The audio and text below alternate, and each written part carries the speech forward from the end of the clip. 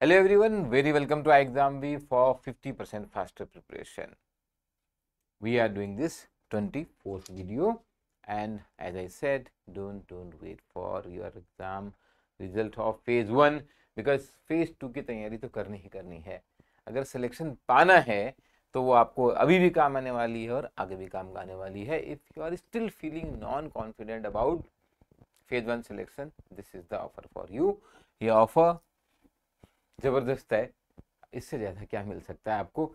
अगर उसके बाद भी पढ़ाई ना करने का बहाना है तो कुछ भी हो सकता है। And those who are serious for them there is a serious study plan twenty days में अभी आपको कैसे सिलेबस कवर करना है। So this detailed plan which mentions how you are going to cover all the topic like this we are definitely going to cover with these faculty members in our class you can download this plan description link पे दिया हुआ। Description link पे आप जाइए, आप वहाँ पर download कर पाएँगे PDF of this plan and ultimate चीज़ तो पढ़ाइए। This is the question I ask last time the paternalistic style of leadership closely related to which of the following needs as per Maslow theory of the employees तो बहुत straight question नहीं आते हैं exam में, इस type से थोड़ा सा थ्योरी के इम्प्लीकेशन आते हैं। तो यहाँ पर अगर हम पैटर्नलिस्टिक बोलते हैं, ना तो ये हो गया लव एंड बिलोंगिंगनेस आप इंग्लिश के जो वर्ड है ना, यहाँ पे पैटर्नलिस्टिक फादरली तो उससे भी समझ सकते हैं कि लव एंड बिलोंगिंगनेस के स्टाइल की यहाँ पे बात हो रही है। बट ये आप तभी कर सकते हैं which looks very common sensical actually requires understanding कुछ भी कॉमन सेंस केवल केवल और केवल ऐसे सोच के नहीं आता है। Unless you have studied the topic you won't be able to make out but once you have studied understood what is Maslow theory I will tell you more other motivational theories also like this then you will find these question very very scoring management phase two का सबसे scoring topic है provided आपने सही तरीके से पढ़ाई की हुई है। This is a question based on the paragraph आपको फ़ेज़ टू में ऐसे ही क्वेश्चन मिलने वाले हैं। this paragraph you read and then you have to answer three questions. I am reading it fast.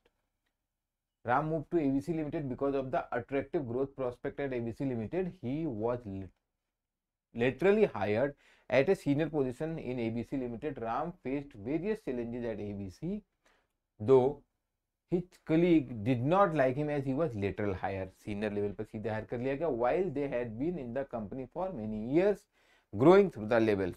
So he felt like an outsider. Furthermore, he lacked the freedom to take decisions. Another challenge that Ram faced was related to ineffective and non-working air conditioner in the office, which made it difficult for him to focus on work. He complained about the AC's condition, but the issue remained unresolved. Ram later left the company to start his own venture. How could the company ABC limited have made Ram to stay in the company क्या करना चाहिए था company को? ए सी ठीक करना चाहिए था क्या? This is one of the option so by giving better working condition by giving more autonomy and challenging work by giving him pay and perks health बढ़ा देते उसकी and ensuring that his colleagues like him सबको बोलते, भाई, इसके साथ रोज खेलो lunch साथ में करो। By hiring at a entry level and not at a literal level अब सीनियर आदमी को आप एंट्री लेवल पे हायर करने को बोल रहे हो, ये तो नहीं चलेगा ना? So here if you have understood Herzberg's two factor theory two factor theory क्या कहता है? There are some factors I will come to that repeat हो जाएगा। तो यहाँ पे आपको समझ में आ रहा है more autonomy and challenging work clear दिख रहा होगा। तो this is the main reason see there में भी an number of reasons AC ठीक नहीं है, लोग मेरे से अच्छे से बात नहीं करते हैं। मेरे को यहाँ पे बोला जाता है, आप पैंट शर्ट पहन के आओ, जबकि मेरे को टी शर्ट और जीन्स पहनना पसंद है, वगैरह वगैरह। But for these small reason people don't leave job you have to identify that in the passage now same passage और ये जो क्वेश्चन है, ये लास्ट ईयर का एक्चुअल एग्ज़ाम क्वेश्चन है। So this is not from somewhere I have brought Now, in the same passage, as per the ERG theory, which of the following needs had motivated Ram to join ABC Limited? जब उन्हें join किया गया था किया था राम ने and he joined as a lateral level तो as per ERG theory अब आपको यहाँ पे ईआरजी थ्योरी पता होनी चाहिए। याद है एल्डेफर्स ईआरजी थ्योरी तो यहाँ पर आपको समझ में आ जाएगा अगर नहीं भी पता है कई बार ये रिकॉल के लिए। एग्जिस्टेंस ई रिलेटेडनेस और जी ग्रोथ ई आर जी कई बातों ना हमने पढ़ी है भूल गए।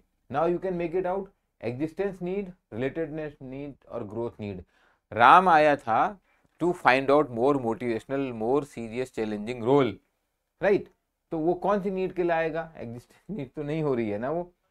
यहाँ पे और रिलेटेडनेस भी नहीं है, वो है आपकी ग्रोथ नीड अगर आपको ये समझना है, जो अल्डफर्स ई आर दी थ्योरी है, ठीक है 1969 की। एक्चुअली इसने मास्लो थ्योरी को कंडेंस कर लिया तीन हिस्सों में। मास्लो में कितने? पाँच लेवल है। इसने क्या किया? नीचे वाले दो को बना दिया। एग्जिस्टेंस नीड ये सर्वाइवल के लिए चाहिए एग्जिस्टेंस के लिए चाहिए।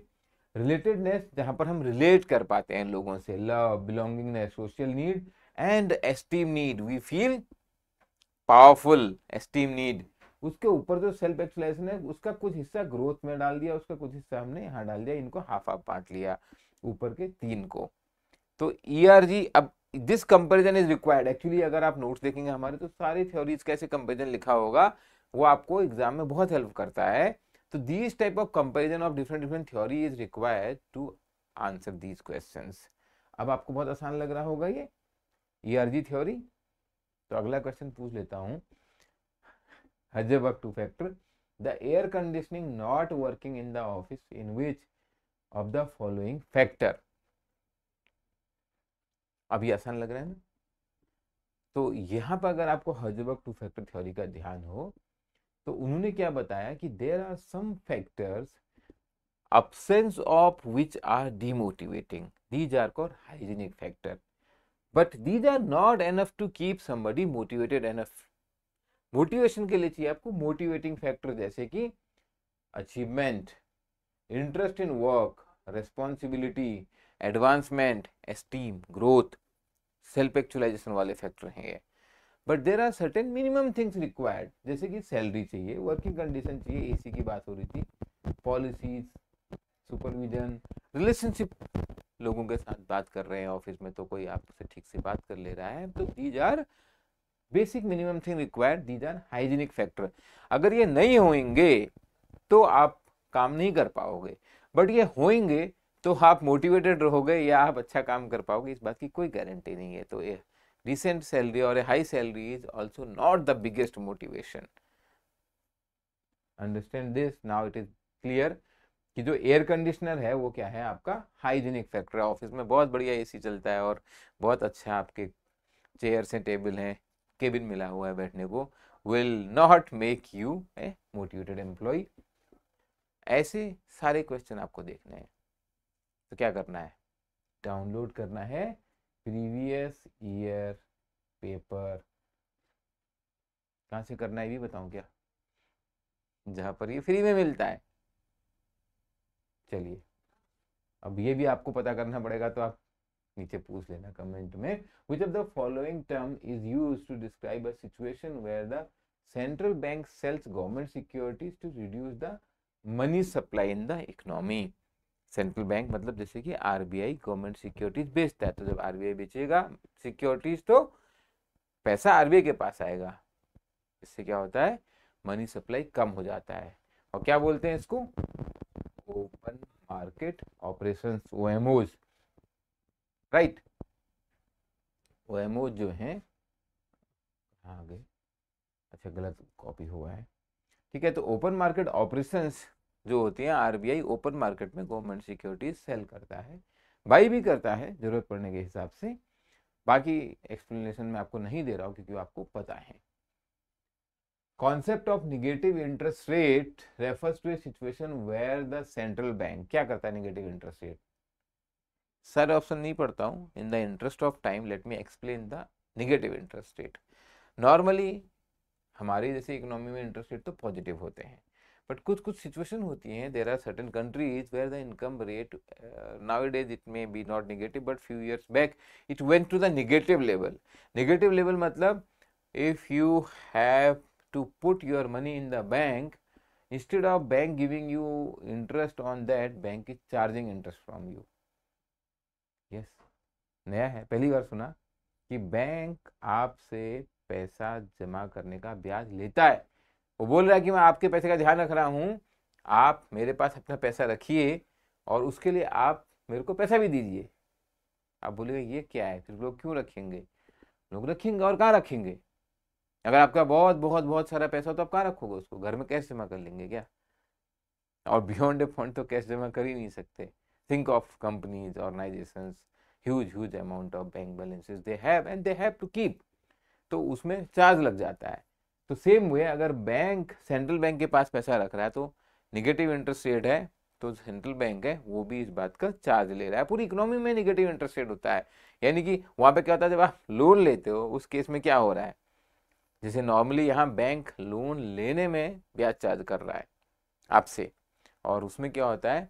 जो लोन ले रहा होता है, उसको बैंक पैसे दे रहा होता है। चलो, आपको लग रहा होगा ये तो बहुत अजीब सा है बट पढ़ लेना गूगल करके। मैंने एक शायद वीडियो बनाया था, याद नहीं मुझे अभी।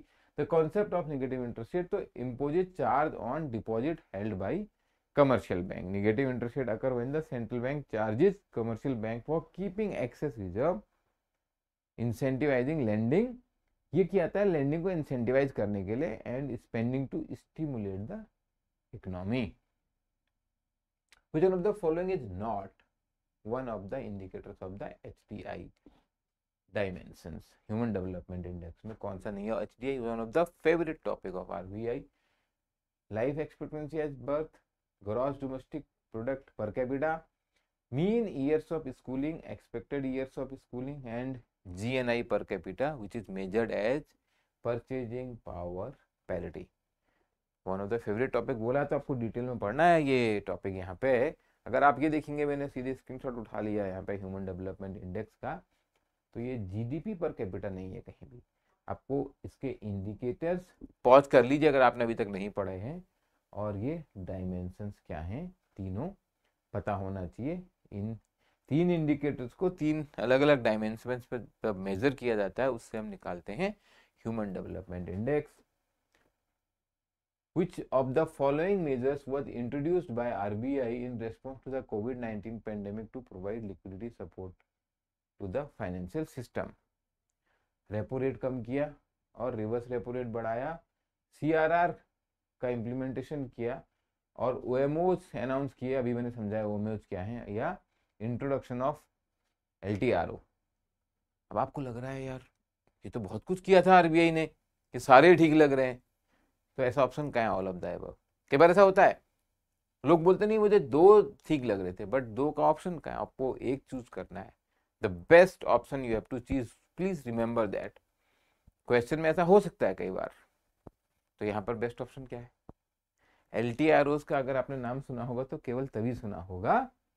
Long term repo operation RBI ने इंट्रोड्यूस किए थे। As a liquidity support measures allowing bank to borrow funds for longer duration thereby providing stability to the financial system long term बैंकों को लिक्विडिटी सपोर्ट दिया गया है उससे इकोनॉमी में बूस्ट आए in the context of the GST which of the following taxes were subsumed by the GST after recent amendment तो इसमें कौन से टैक्स मिला दिए गए central excise duty VAT service tax all of the above और none of the above अब यहाँ पर एक तो आप काट ही सकते हो कि ऐसा तो कुछ नहीं है कि जीएसटी में कुछ नहीं मिलाया गया था। अब आपको ये भी याद होगा कि वेट तो मिलाया ही मिलाया था। और सर्विस टैक्स का भी थोड़ा सा ध्यान होगा। राइट तो अब आसान हो गया। अगर दो भी कंफर्म है तो answer is all of the above clear है? ऐसे कॉन्सेप्चुअल क्वेश्चन आते ही आते हैं। Which of the following is a type of risk associated with financial institutions that arises from potential of rapid withdrawal by depositors? जिन्होंने bank में पैसा जमा किया है वो एक साथ आपसे पैसा मांगने आ गए तो कौन सा रिस्क आ जाएगा इसमें सोचिए सी अगर आपको पता नहीं है तो आप सोच सकते हैं मार्केट रिस्क मार्केट में र्यूमर फैल गया और हो गया ये मार्केट रिस्क मार्केट रिस्क वो नहीं होता है राइट ये क्या है? लिक्विडिटी रिस्क है। क्यों? क्योंकि यहाँ पे लिक्विडिटी में प्रॉब्लम आ जाएगी। कोई भी बैंक इतना थोड़ा ना कैसे रखा हुआ है कि सारे डिपोजिटर लेने आ गए और उसको देना पड़ गया। तो liquidity refers to the possibility that a financial institution may face difficulty meeting its short-term obligations due to the insufficient liquid asset or the potential for rapid withdrawal by depositors मुझे ऐसे याद है, एक बार आईसीसी बैंक में हुआ था ये problem कुछ रूमर फैला मार्केट में। Suddenly there was a run on the bank यहाँ पर एक वर्ड यूज़ किया जाता है। अब कई बार ये अच्छा एग्ज़ाम में लिखा आ गया रन ऑन द बैंक अब आप बोलोगे ये क्या हो रहा है? मतलब रन ऑन द बैंक से मतलब क्या है? ये लोग दौड़ रहे हैं, क्या हो रहा है ये? तो ये बेसिकली यही है कि डिपोजिटर्स आ गए अपना पैसा लेने के लिए। तो उस केस में लिक्विडिटी रिस्क आ जाएगा। किसी की बैंक के पास इतना कैश नहीं होता है। बिकॉज़ बैंक ने तो अपना पैसा कहीं लोन में डाल दिया है या कहीं गवर्नमेंट सिक्योरिटीज में इन्वेस्ट कर लिया है। बट आरबीआई भी हेल्प करता है उस सिचुएशन में। रूमर को मिटिगेट करने में भी और लिक्विडिटी प्रोवाइड करने में भी इफ़ बैंक इज़ सॉल्वेंट ये वर्ड कहाँ सॉल्वेंट है, कहाँ लिक्विडिटी है, आपको समझ में आनी चाहिए। With which of the following scenario the money multiplier in an economy increases? if you understand the concept of money multiplier which is a cakewalk question if you don't understand you have to understand to become RBI grade B officer answer this by writing in the comment and this is an offer which you can't refuse even if you have less confidence opportunity है पूरा course कुछ time के लिए तो मिल ही सकता है और इससे अच्छी बात क्या हो सकती है? It is up to you we will meet in the next video थोड़ा गैप आएगा because I have to do extreme B classes all the best for preparation